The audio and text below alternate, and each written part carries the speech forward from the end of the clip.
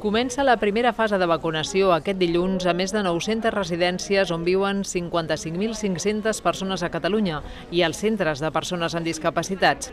Salut també recomana posar-se les injeccions contra la grip i contra la Covid a tothom que rebi atenció domiciliària. La infermera del grup de vacunes de l'Associació d'Infermeria Familiar i Comunitària, Elisabet Jurado, explica per què. Tot i que la Covid, eh, evidentment, estem molt millor de, de com estàvem en plena pandèmia.